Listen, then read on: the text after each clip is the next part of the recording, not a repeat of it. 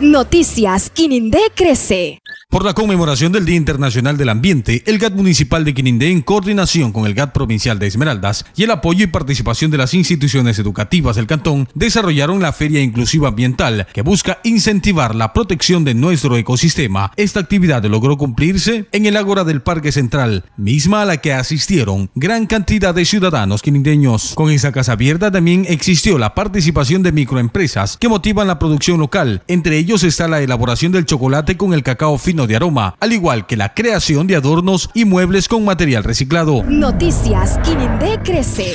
El barrio Los Pinos, luego de 40 años de existencia, hoy cuenta con una moderna área de recreación para los más pequeños, zona para ejercicios para jóvenes y adultos, cancha de uso múltiple con protección, reconstrucción de aceras y bordillos, escenario, entre otras mejoras que hacen que este populoso sector mejore su condición de vida en un ambiente de esparcimiento familiar. La Administración Municipal 2014-2015 2019 que preside el alcalde Manuel Casanova, con una inversión de cerca de 300 mil dólares, logró dar una nueva imagen a este histórico sector del cantón. Noticias Quinindé crece. Estas eran las condiciones con las que tenían que convivir quienes habitan en este acceso al barrio Bellavista. Lodo en invierno, polvo en verano, dificultando el acceso a sus viviendas. El deterioro de esta calle y la maleza se convertía en foco de criaderos de mosquitos y serpientes. La administración municipal 2014-2019 cambia la historia de este sector olvidado y con una inversión de 58.481 dólares con 33 centavos, se ejecutó la colocación de tuberías para el alcantarillado pluvial, construcción de aceras y bordillos, iluminación artificial y adoquinado. Una regeneración que estimula emociones de alegría en quienes hoy podrán circular a cualquier hora por este corte de camino entre la avenida 5 de agosto y el barrio Bellavista. Noticias Quinindé crece.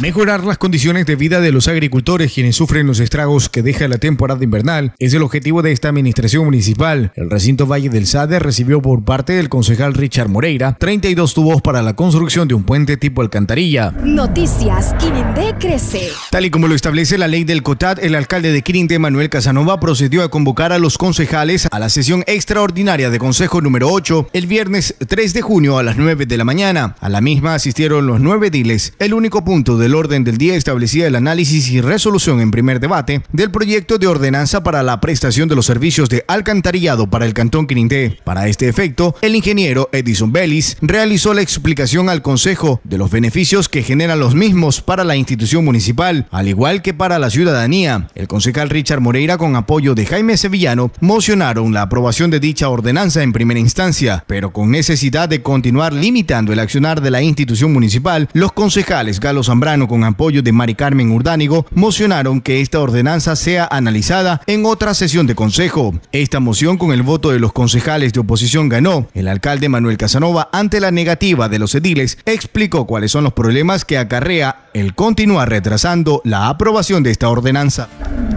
Noticias crece.